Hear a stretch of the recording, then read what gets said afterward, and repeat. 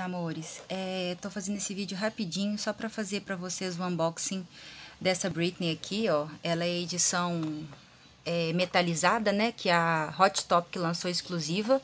Ela é limitada a 5 mil peças, então assim, já tá bem rarinha e só foi vendida na loja física, né? E a gente não tem Hot Top no Brasil, então ficou mais complicado ainda. Eu comprei a minha no eBay, pra vocês terem ideia. Eu não ia comprar porque eu tinha achado ela meio feinha, mas aí eu pensei, melhor eu ter, porque depois se eu quiser completar a coleção vai ficar caro. Aí eu vou mostrar pra vocês aqui a caixinha.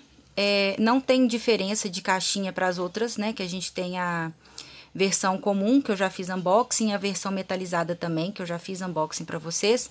Só de Slave a gente tem três versões, né? A gente tem a versão comum, regular, a versão da Barnes Noble metalizada e agora essa versão da Hot Topic. A minha versão do Ups é, Glitter da Urban já tá chegando e assim que chegar eu faço para vocês o unboxing. Eu já aproveitei e tirei da caixinha para vocês é, olharem ela de pertinho.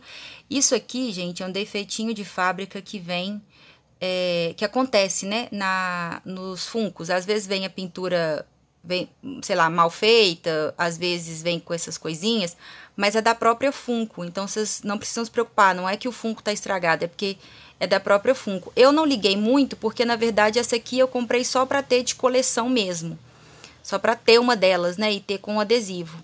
Então eu não me importei, eu paguei 42 dólares é, nela, nessa, nessa Funko aqui. Tá vendo? Ela não tem muita diferença. Eu não achei ela lá grandes coisas, de verdade. Eu só. Porque, tipo, é mais um, mais do mesmo, né? Eu queria uma outra.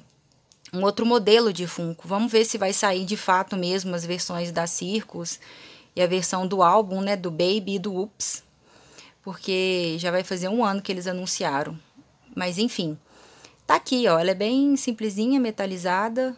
É, eu deixo todas na caixinha, mas ela vem com base, tá? Aqui, ó, tá aqui. Dá pra vocês verem, né? Ela vem aqui com a base, aí eu já deixo guardadinha. Para finalizar o vídeo, vou mostrar pra vocês as três aqui, ó.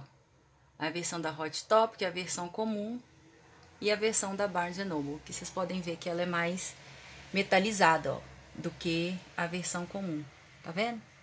De todas, a que eu mais gosto, sinceramente, é a versão comum.